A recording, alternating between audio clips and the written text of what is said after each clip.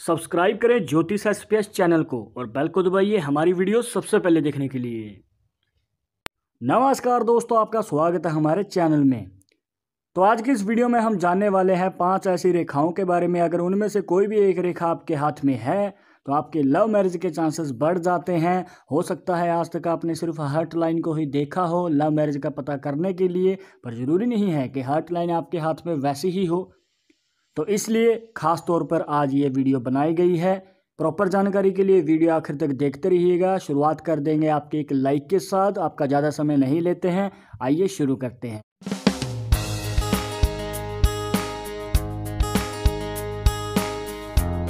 ज़रूरी सूचना।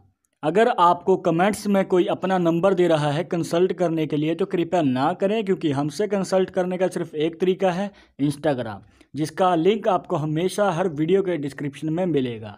तो शुरुआत करने से पहले, जैसे कि आपको हर वीडियो में बताते हैं कि अगर आप लड़के हैं तो अपने राइट हैंड में, अगर लड़की हैं तो अपने लेफ़्ट हैंड में, इस जानकारी को देखिएगा। शुरुआत करेंगे पहले हार्ट लाइन से। अगर आपने हमारी पहले की वीडियोस देखी हैं तो आप अच्छी तरह से जानते होंगे कि हृदय रेखा कैसी होती है और कहाँ होती है। पर अगर आप पहली बार देख रहे हो तो ध्यान से देखना। जब आपके हाथ में रेखा चली जाए गुरु पर्वत पे कुछ इस प्रकार, गुरु पर्वत जिसे बृहस्पति पर्वत भी कह देते हैं, और ये उभरा हुआ हो, इसको पता करने का क्या तरीका है? दूसरे हाथ के अंगूठे से दबा के देख लेना। अगर इस प्रकार से रेखा है, और ये है हार्ट लाइन तो दोस्तों, आपके लव मैरिज के चांसेस बढ़ जाते हैं। और वो कैसे? पहली बार में नहीं, दूसरी बार में नहीं तो तीसरी बार में रिश्ता पक्के होने के चांसेस ज़्यादा रहते हैं। पर पहली और दूसरी बार में क्यों नहीं?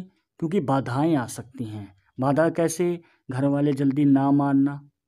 तो उसके रिलेटेड भी एक रेखा है।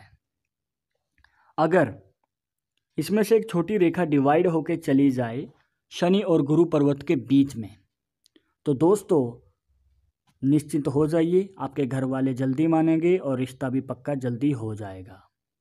इसके बाद एक ऐसी रेखा जिससे आप जान सकते हैं कि आपके पार्टनर के साथ रिलेशनशिप कैसे रहेंगे, क्या आपके साथ ज़्यादा प्यार रहेगा और क्या वो सपोर्ट करेगा आपको हर काम में।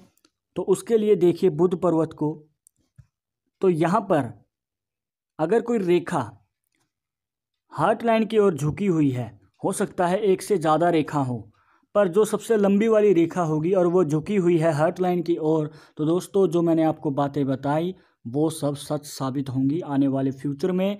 इसके बाद शुक्र पर्वत, जो बनता है अंगूठे के नीचे इस वाले एरिया में।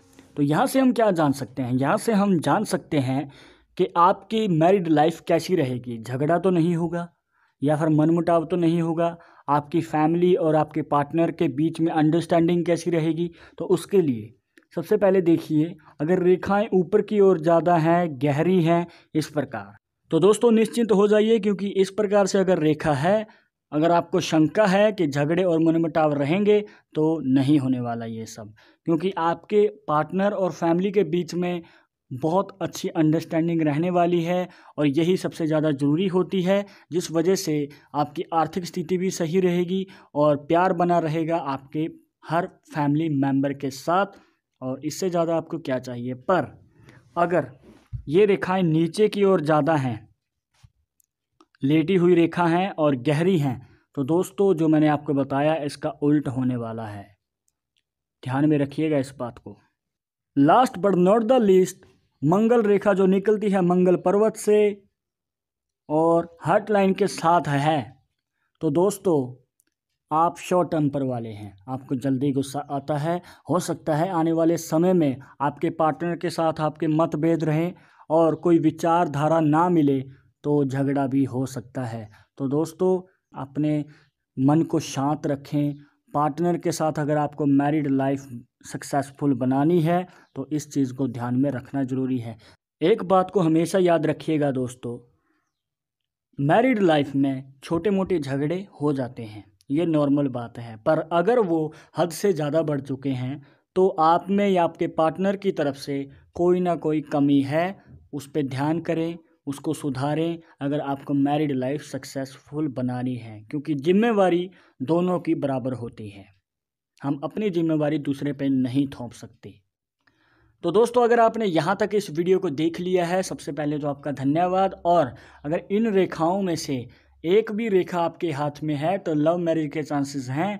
और अगर तीन रेखाएँ हैं तो भाई सोने पे सुहागा है, आपकी मैरिड लाइफ बहुत अच्छी होने वाली है।